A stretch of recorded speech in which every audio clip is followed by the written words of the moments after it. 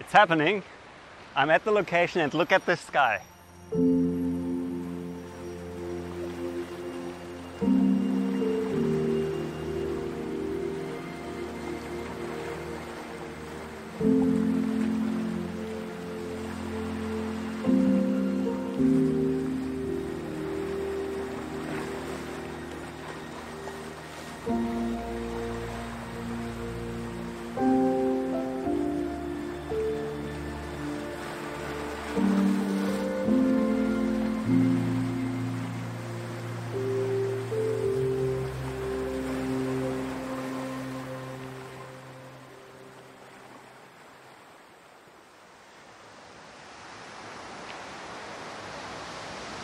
So, our little Seychelles adventure continues.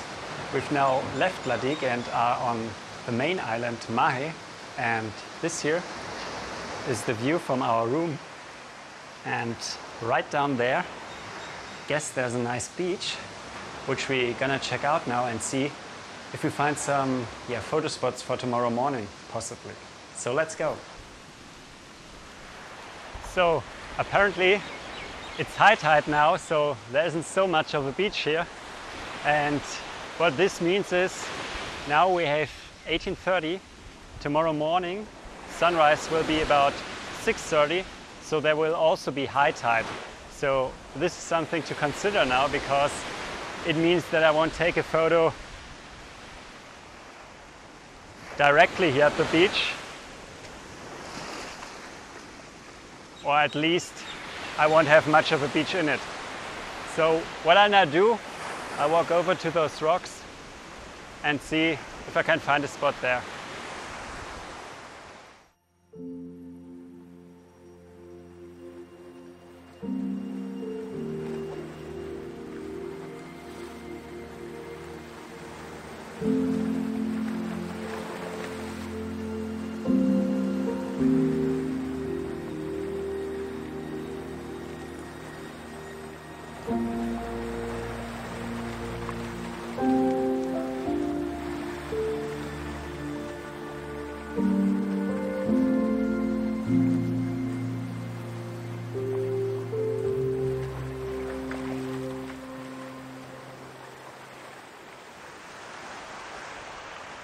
So it didn't take me long to find a spot which has potential. I just went to the other side to the next beach and what you see here, there's some rocks in the foreground. There's this nice beach with many palm trees, mountains in the background and the sun should be up somewhere in this direction. So I have to check this to be really sure where it goes up, but I should get some nice morning light on this side.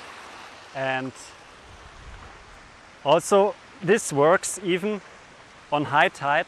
So again, there's not so much beach here, but with those rocks, at least I should find a nice foreground, which I could include, especially with a wide angle lens. And yeah, then we'll just have to see. So I just arrived today.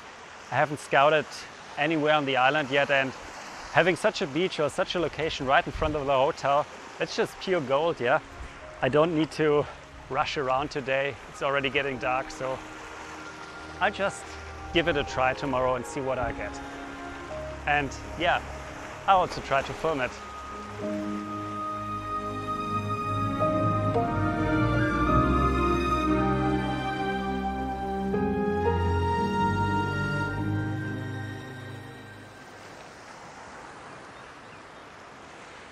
So, it's happening. I'm at the location and look at this sky. What a great sky. And yeah, I think this might even be the best sunrise till now with all those magenta colors. And yeah, couldn't be in a better position here.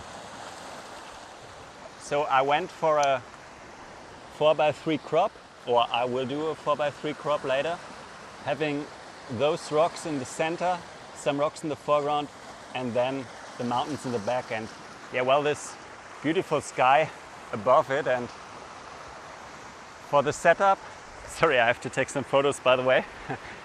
this time I'm not using a polarizer because I want to take full advantage of the reflections of this beautiful sky on the water. Also with the dark rocks, when the light hits them, it looks quite nice and brightens them up a bit. Else they would just be very black. And I think here it's better to have some reflection on them. But I'm using a 0.6 hard GND from Kase this time and this is already enough to balance the exposure of the sky against the foreground.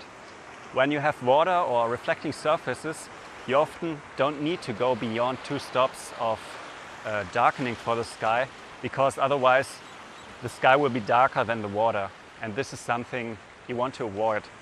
So let's look at the photo. Okay, so currently I'm overexposing a bit because here at the equator gets bright very quickly so I have to constantly adjust my exposure times.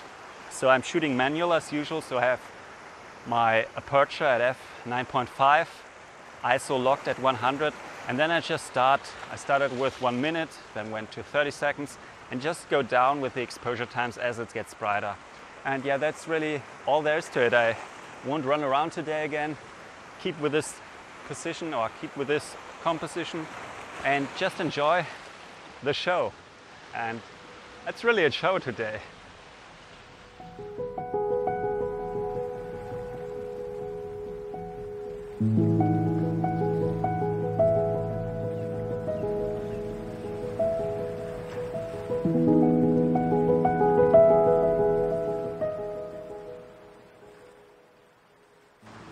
So, while I'm now waiting for the sun to break through the clouds and yeah, to take the final photos, I want to talk about something else. And this is the problem of yeah, waste or trash, especially when you're photographing at the coastline.